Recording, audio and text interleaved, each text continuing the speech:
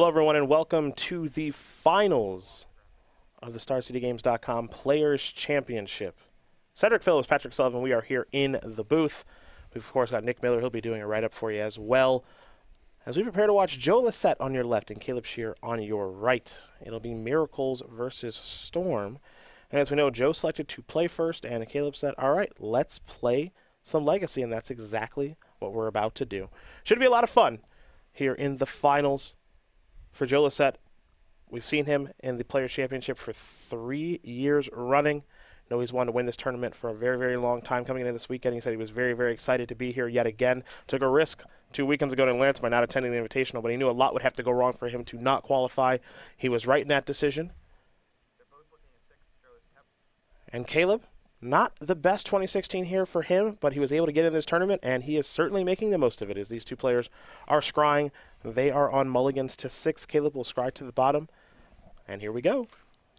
Caleb has done quite well for himself in these single elimination back against the wall scenarios. Won the Invitational last year in Las Vegas, having to win something like 13 or 14 matches in a row to get to that point. And uh, now at the Players' Championship, of course, the standard portion, a lot of single elimination, day two, all single elim. And Caleb has found himself in the finals. Joe starts off with the basic island, and then Sensei's divining top for Caleb. A polluted delta into an underground sea will bring him down to 19. And we'll see what his play will be after that.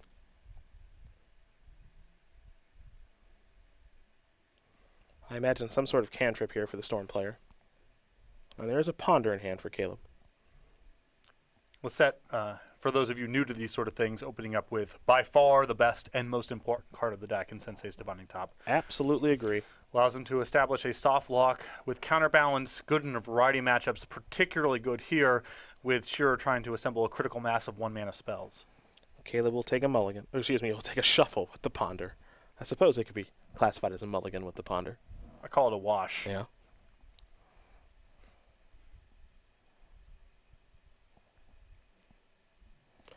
Mystery card on the way here for Scherer. Lion's Eye Diamond. This is a Chrome Mox. He'll put a Cabal Ritual on that. And now here's a Duress. Get a good look at Joe's hand here. A Force of Will, a Spell Snare, another top, and a Swords. Not the best hand to have in this matchup. This is why I think the Miracles side of this matchup is a little shaky, at least game one, even though uh, opening up on Sensei Divining Top and the counterbalance is so powerful. There's a lot of dead weight and not really that many counters at the end of it. I believe Scherer's leftovers are is all mana, but if he rips one of his big cards, Infernal Tutor and Ad Nauseam, uh, this game could be over very, very quickly. Lossett loses the Force of Will, still left with a Spell Snare in hand and a top to spin. As we head back over to Caleb, another copy of Lion's Eye Diamond. Looks like he's going to play one of them. Of course, when you have to worry about counterbalance, this does make some sense. He's going to play both of them and simply pass the turn back. Spinning at the top here from Joe. Joe here, uh, this draw is a little bit soft. I mean, he does have Divine Top, but no way to shuffle. Uh, his hand's not very good. Looks like he was just looking at a couple lands on top, maybe another Divining Top. But Scherer will not have a problem with mana this game. Mm-hmm. And I do not think Lossett can currently defend himself. So he is at the mercy of Scherer finding one of his big payoff cards and, and quickly being up a game. Well, I would say that Spell Snare counts. It's some defense. Yeah. Definitely against Infernal Tutor. Misty Rainforest, the draw. Misty Rainforest, the play. Caleb will pass the turn back. We go to Joe. He'll spin the top on Caleb's end step. Volcanic Island. Basic Island among those three cards. He'll draw a card, will Lossett. And you can see Lossett pretty furiously topping and retopping. Uh, he is on the hunt for counterbalance. Well, it's worth trying to find. Top card of his deck right now is Force of Will. Keep that in mind. I imagine he's going to make sure he keeps that on top of his deck and never adds it to his hand. If you can avoid it, yep, you do not want that to get exposed to a discard spell. Also, if Force of Will is floating among your top cards, if you are able to find counterbalance, that locks out ad nauseam. Mm-hmm. Joe will spin again. Force of Will. Looks like a land. It looks like maybe Snapcaster Mage. And Joe done rearranging. He'll draw a card. picked up a Snapcaster Mage, simply passed the turn back. Caleb has now finally drawn some way to manipulate his deck in Preordain. He'll start by sacrificing the Misty Rainforest.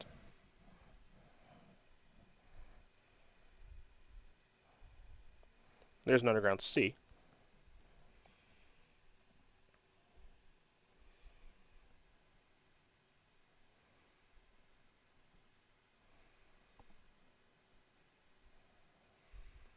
And now here's Preordain.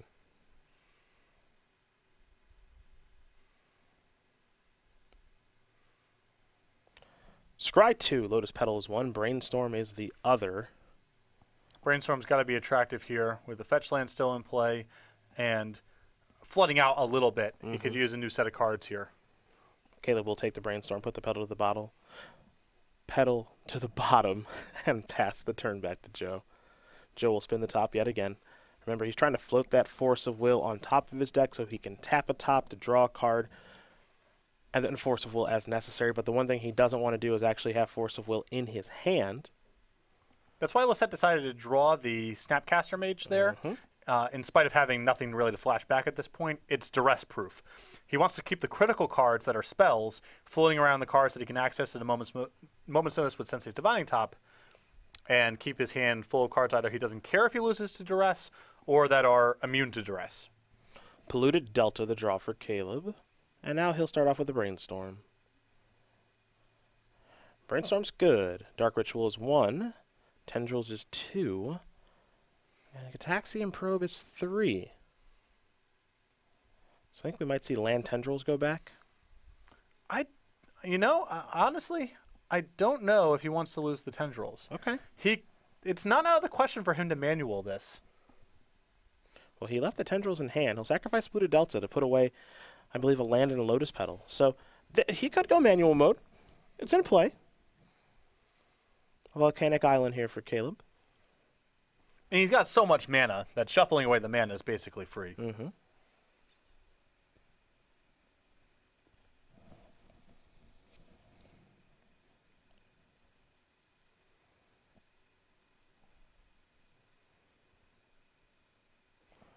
Probe. Caleb will pay the two life.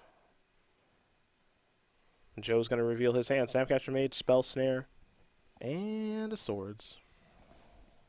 But this is not a whole lot of information here for sure, as Lossett's been floating some cards on the top of his deck now with the Sensei's Divining Top for several turns.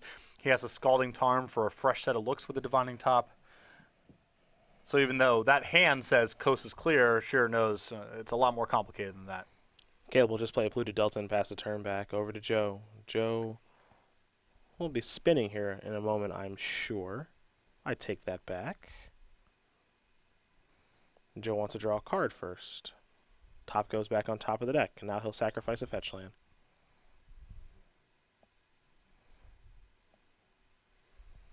I'm assuming Lossett drew the Force of Will he's been floating, That is my assumption as well. gets a clean look at it, and he's somewhat duress proof insofar as he, if he finds land number seven, he has access to Snapcaster Force of Will. Additionally, finding counterbalance means he doesn't have to worry about duress at all. Time to spin. Eh, Terminus, not so much. Not for this matchup. I think a couple ponders there, though. Joe will untap. Found a ponder. And he'll cast that. Top three. Ponder, Terminus, and I think another copy of Terminus there. Yeah, pretty easy shuffle there for Lossett. Yep. Not I'll- liking that at all. all these cards, you know, Ponder and Scalding Tarn and the like, are justifiable plays on their own. But in access with Sensei's Divining Top becomes so much more potent because when you're shuffling your deck over and over again, um, it's a huge reduction in variance, and you're able to assemble the, the lockout pieces or have access to your miracle cards at exactly the right time. Snapcaster Mage is the mystery draw.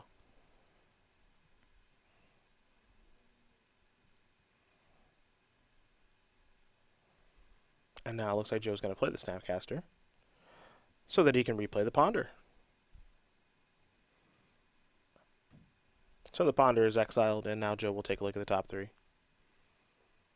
Another top in there. Looks like a Brainstorm, and ah, there's the blue blue enchantment that he's been looking for. There's counterbalance. He'll draw that card from the ponder. Now, will he tap out to play it? Force of Will in hand, plus now being immune from duress is a pretty good incentive to tap out. There are worse spots to be in. Caleb will draw. He's picked up a ponder. He'll start with the ponder. Nope. Brainstorm says no, and Caleb knows he is beat and he will concede immediately. Joe Lossett will win game number one here over Caleb Scherer. Miracles up a game over Pond, excuse me, up a game over Storm, thanks to that ponder. Yes. Well, thanks to Sensei's Divining Top. That also helps too. Some other things, you know, happened, yes. but thanks to Sensei's Divining Top. Sideboards is where we're going to go. We'll start with Caleb, who's got a Chrome Mox, three Xantid Swarm, four Abrupt Decay, two Krosan Grip, two Surgical Extraction, Empty the Warrens, a Bayou, and a Tropical Island. A couple different routes that he can go here. Uh, this is a, an interesting setup here because he has access to four Abrupt Decays and two Krosan Grips. That's a very natural way to fight through Counterbalance plus Sensei's Divining Top. You have Xantid Swarm. That's an answer to a variety of counter spells that Lossett has. And you have your copy of Empty the Warrens in case you think that you can't really assemble a critical mass of spells via tendrils, but a Empty the Warrens for 8 or 10 tokens could be good enough.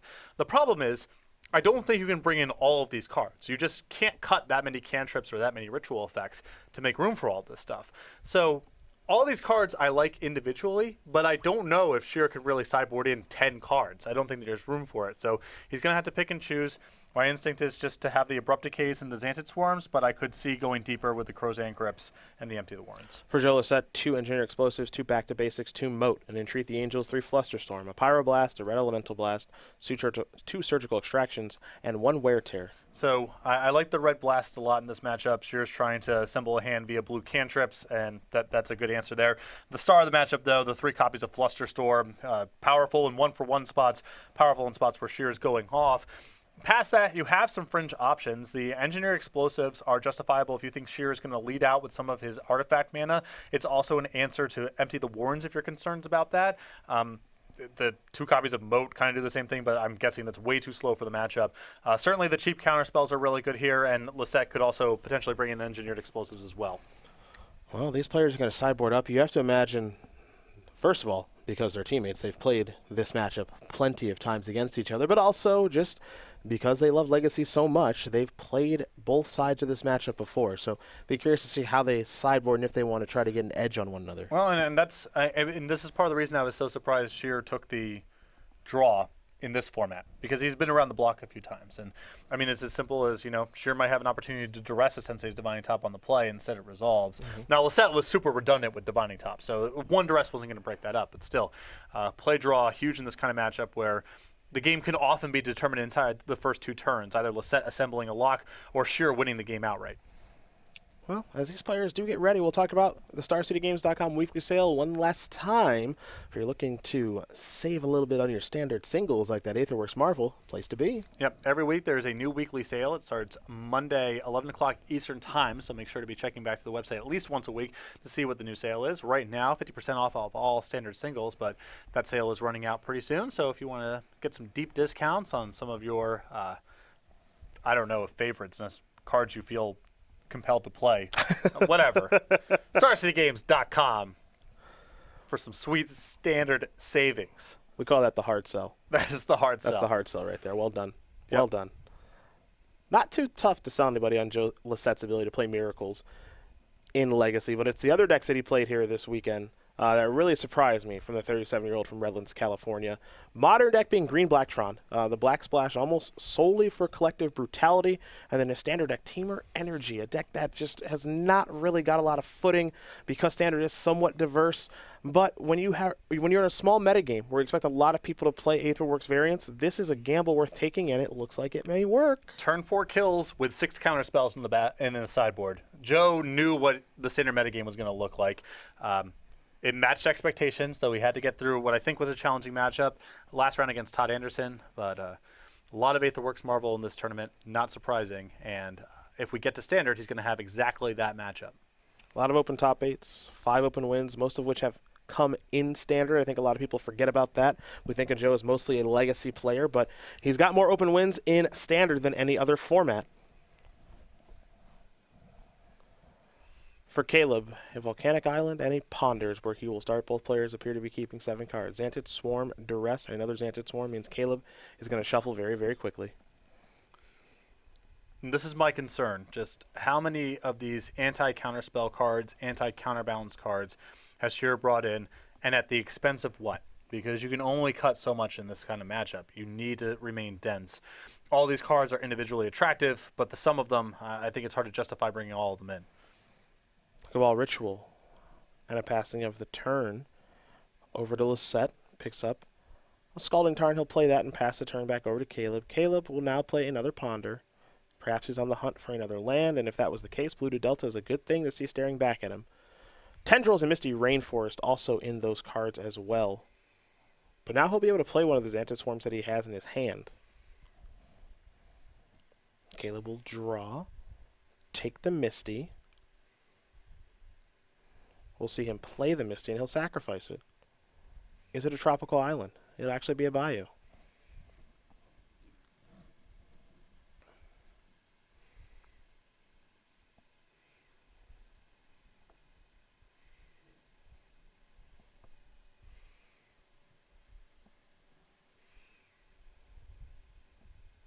Is it time for the buzz buzz?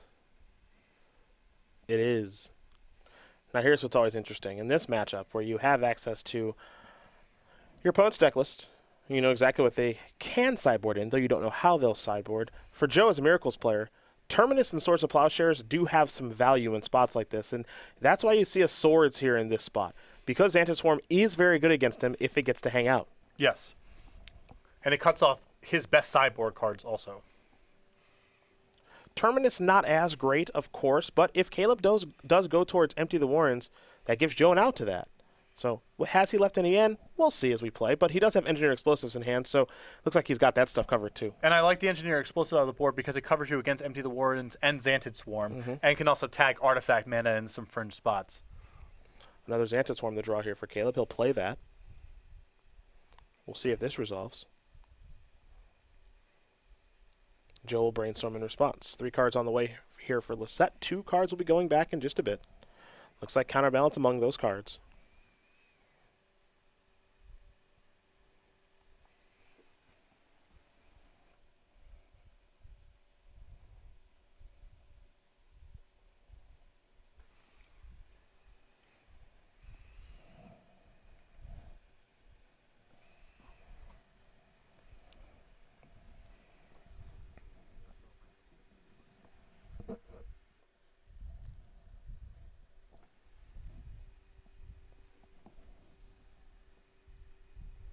Brainstorm done resolving here for Lossett. And he'll crack the Scalding Tarn. Volcanic Island on the way. Looks like the looks like the swarm is in, so we'll be heading back over to Joe in just a second here, I believe.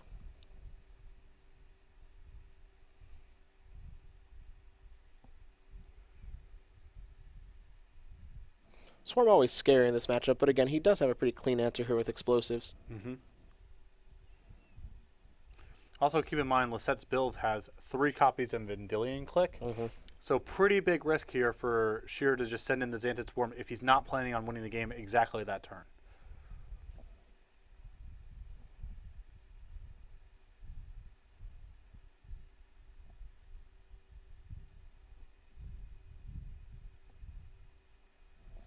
Decisions, decisions here for Lossett. Counterbalance in hand, obviously a very attractive option because, well, it's counterbalance. Mm-hmm. So there's some appeal to that. It was so good in the first game and so very good in this matchup, but he does have to be a little worried about some things here. Ponder the draw here for Caleb.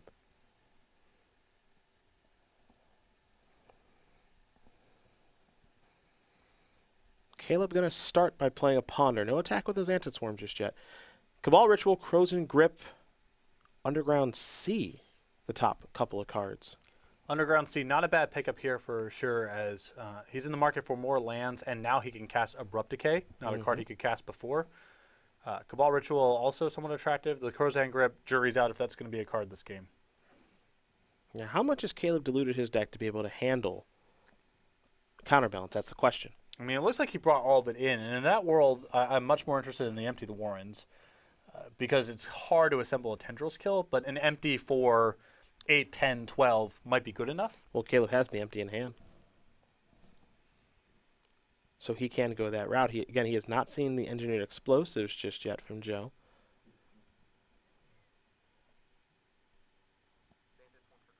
Xantid Swarm trigger is on the stack as it is attacking.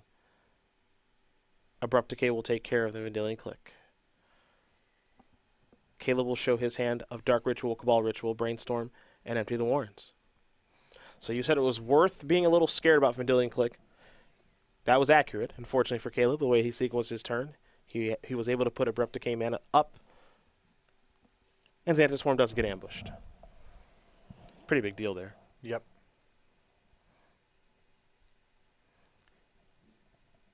With an engineered explosives in hand, I'm almost tempted to put the brainstorm on the bottom. Just because his hand doesn't really lead anywhere then? And, and also with Lossett, you know, drawing cards and doing his stuff, it, it gets attractive for Scherer just to, to snap off the empty next turn. Now, Joe leaving it in his hand is a little suspect, but it's not like Scherer's hand does much else. Yeah, I think I'd be okay with taking Brainstorm too. I don't think you can bottleneck him on mana here. So let's take the rituals off the table. You can, if you take the brainstorm, you're basically announcing go ahead and empty. Oh, never mind. It's going to take Cabal Ritual. Okay. And Cabal Ritual was the draw off of that. Curious to see where Joe is trying to lead him. Force of Will the draw, not well, so that much. that's the draw. If you want to induce Scherer into going for it, you do that. That's the that's the play that gives the most credibility to I'm worried. Mm-hmm. Although I guess he could have just taken the empty straight away. That's also if that true. was the if that was the case. Here's a brainstorm from Joe. Draw three cards. He'll have to put two back here in just a moment.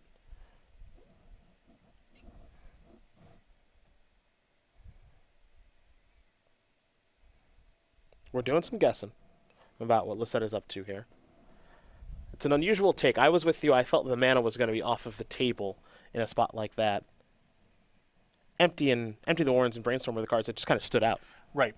And and my instinct is just take the brainstorm and s- tell him come get it and leave him with a hand with that only has one path which you can answer. Sure.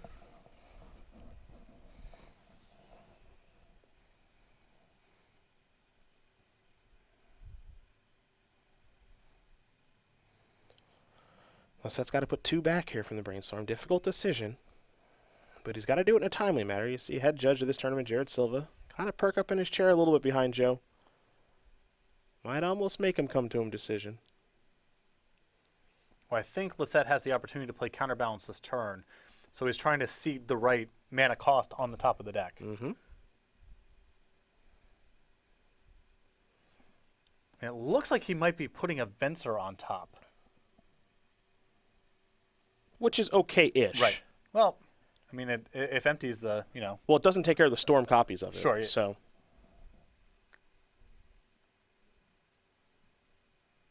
It's not the end of the world. okay, so he's just now shuffling away blind. I believe still has brainstorm in hand, so he can still set up something. KG next turn.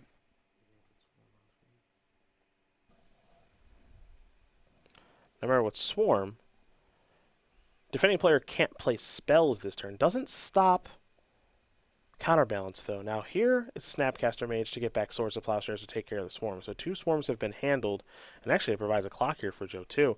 And this might actually lead Caleb down the path of, okay, I don't have my Swarm anymore. I actually need to go about doing something now.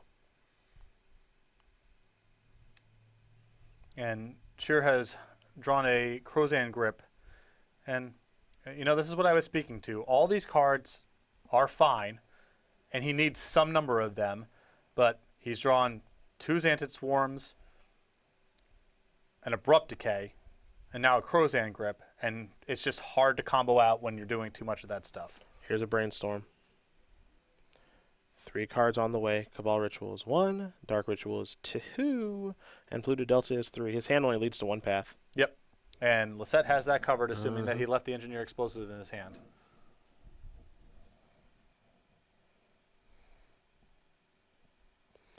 I think it's pretty easy to put grip plus something else back on top.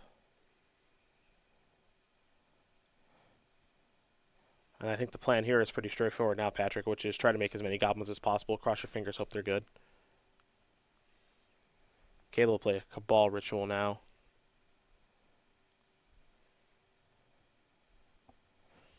Going to get out Caleb's Storm counter that he did win at the Las Vegas Invitational last year the tournament that was so integral from the qualifying this year. Another Cabal ritual. Storm counts up to four. Let's make it five. And how about six? Empty the Warrens. A lot of goblins about to be swept away by an engineer explosives, folks. And Scherer with not much mana left over when this is all said and done, just three lands. Mm-hmm. No cards in hand.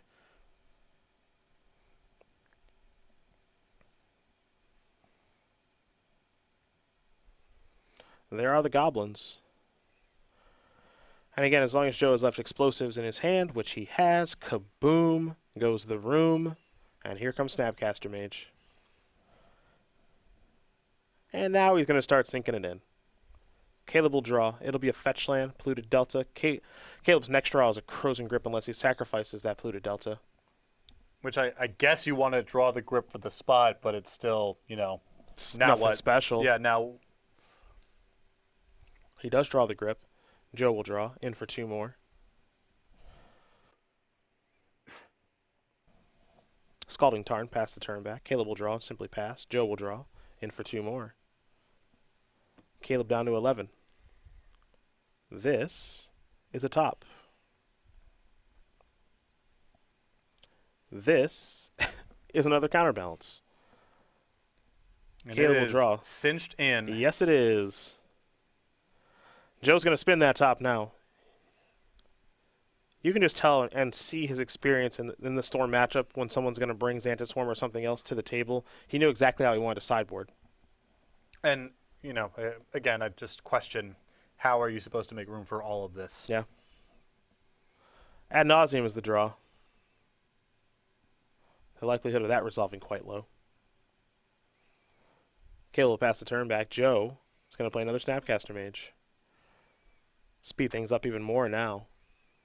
Looks like he's going to target a Brainstorm with the Snapcaster Mage, and he will. Caleb, in response, is going to sacrifice a fetch land. He'll go get himself an Underground Sea.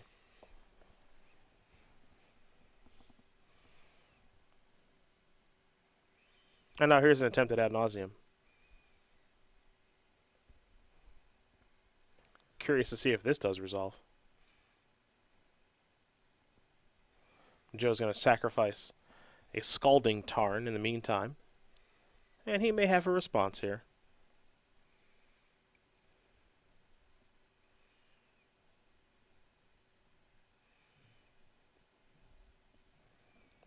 He'll spin the top, see if he can find a five. I think Force of Will was the first card. Yeah. Sure. Yeah, he'll even let out a, a small smile there because we are all set here. Joe Lossett's going to win this match over Caleb Scherer. Two games to zero. Miracles going to destroy Storm.